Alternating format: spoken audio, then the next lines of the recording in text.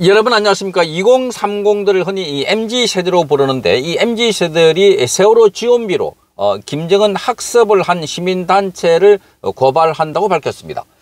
자, 이 김일성 어, 이 학습뿐만 아니라 아, 이 호화 뭐 이 여행을 갔다. 아, 그 요트를 탔다. 그러니까 세월호 관련해서 어, 돈을 지원해 주는데 그 돈 가지고 어, 풀장에 딸려 있는 펜션에서 놀았다든지 뭐 이 요트를 탔다든지 이렇게 함으로 해서 본래 목적과 다른 용도로 사용했다 하는 점에 대해서 아, 이 미래 세대들 지금 이 뿔난 이 MZ들이 에, 지금 관련된 단체에 대해서 고발을 한다는 겁니다.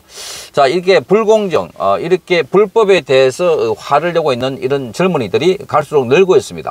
아, 그러니까 이 정치 현장에서도 마찬가지입니다. 지금 어, 파업을 벌이고 있는 어, 이 민노총, 민노총의 에, 파업을 벌이는 과정에서도 서울 지하철, 서울 지하철 1호선에서 8호선까지 지하철 노선에서도 원래 파업이 진행됐는데 거기도 어, 안에서 왜 우리가 민노총에 질질 끌려다녀야 하나. 그리고 민노총의 국가보안법 철폐 같은 게 왜 갑자기 여기서 나오나. 이렇게 하면서 반발함에 따라서. 그래서 이 제3노조가 반발하자 하는 수 없이 지하철 노조도 파업 하루가 지나지 않아서 어, 복귀를 해버렸습니다. 자, 곳곳에 지금 이 민노총을 비롯해서 우리 사회에 많은 단체들이 있는데 이 단체들의 불법 행위에 대해서 젊은이들의 감시의 눈길이 더 날카로워지고 있고 어, 행동을 하고 있다는 겁니다. 어, 미래의 힘이라는 민간단체가 오는 8일 날 어, 세월호 피해 지원비를 받아서 북한 김정은의 신년사 학습 등을 한 신년사 학습 등을 한이 원래 본 목적에서 벗어난 곳을 사용해서 논란이 일으킨 시민단체 안산청년회를 형사고발한다고 밝혔습니다. 미래의 힘 법률 대리인은 어, 이날 서울중앙지검의 안산청년회를 업무상 횡령 등의 혐의로 고발할 것이라고 말했습니다.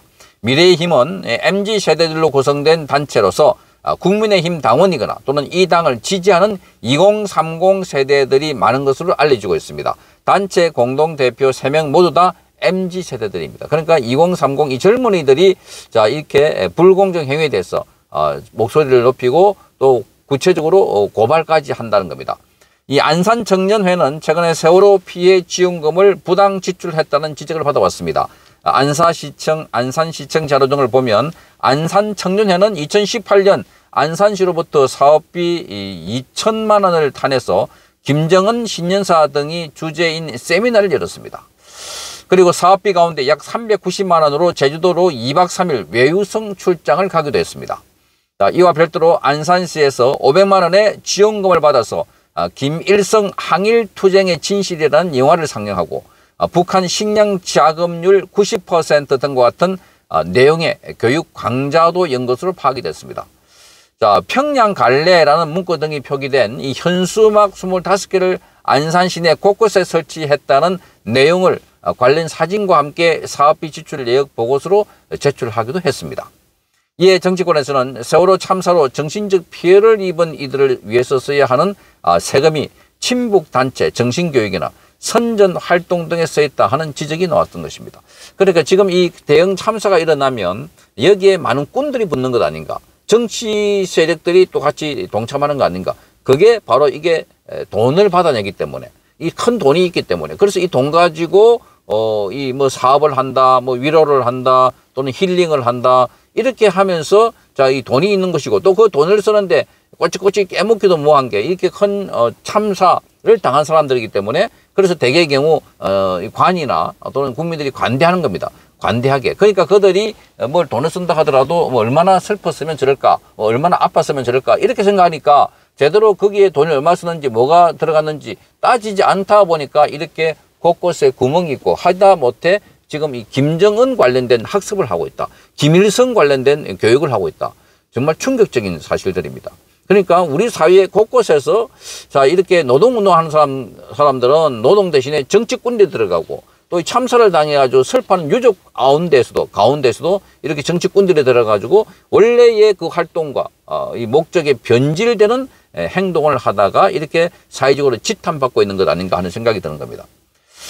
자, 이 미래의 힘척은 슬픔과 아픔을 치유해야 할 세월호 지원금으로 어, 북한 정권을 찬양하고 선전 활동을 전개한 시민단체 이 안산 청년회를 규탄한다고 어, 고발 취지를 밝혔습니다. 그러면서 국민 세금인 국가 재난지원금이 진정 필요한 이들에게 제대로 지원되도록 힘을 보태겠다 이렇게 말하고 있습니다. 자, 국가 세금은 전부 다 앞으로 미래 세대들에 부담할 수 있는 돈들입니다. 그러니까 국가 세금 가지고 엉뚱한 데 쓰고 그것 가지고 국가에 빚이 지거나 이럴 경우에는 자 미래 세대들이 고스란히 지금 빚을 져안아야 되는 그런 상황입니다. 국가 부채가 천조 원이 된다고 하니까 자 이 천조 원, 자 우리 지금 인 살아있는 세대들이 다 돌아가시고 난 뒤에도 그 빚은 계속 어, 이 뒤로 이월이 돼가지고 미래 세대들이 전부 다 부담해야 할 돈들이다. 그러니까 자 그게 엉뚱한 데 쓰이지 않고 어, 줄줄 세지 않는다면 그 돈 가지고 미래 세대들이 일자리를 더 창출하거나 더 좋은 교육을 받거나 우리 사회 인프라를 구축하거나 이렇게 쓸 수 있는 돈들인데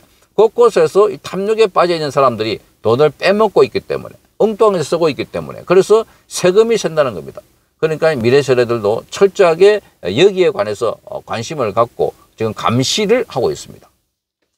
자, 미래의 힘은 8일 오전 11시에 서울중앙지검에 고발장을 제출하면서 세월호 피해 지원금 부당 지출 문제와 관련한 기자회견도 열 계획입니다. 자, 이렇게 청년 세대들이 우리 사회의 불공정한 사례에 대해서 눈을 뜨면서 아주 적극적으로 행동하고 있습니다. 잘못된 것은 고소하고 고발하고 또 직접 파업하는 경우도 야, 이거, 이거, 안, 이거 본래 목적이 이거지 않는, 않지 않느냐라고 하면서 파업을 멈추기도 하고 그러니까 그동안 어, 기성세대들이 야 민노총 또는 세월호 뭐 이런 사람들에게 어떻게 그런 말 하겠니 하는데 젊은 세대들은 그렇지 않다는 겁니다. 자 그들이 아무리 큰 단체를 운영한다 하더라도 거기에 불법과 비리가 있다면 젊은 세대들은 바로 노 하고 어, 바로 소리를 지르건 지르고 브레이크를 잡, 잡는다는 겁니다. 그러니까 젊은 세대들이 패기가 있고 아직 미래가 있다는 겁니다. 자, 이 젊은 MZ 세대들에게 대한민국의 밝은 또 나은 미래를 위해서 그들의 활력 또 활동을 기대해 봅니다. 성창경 TV였습니다.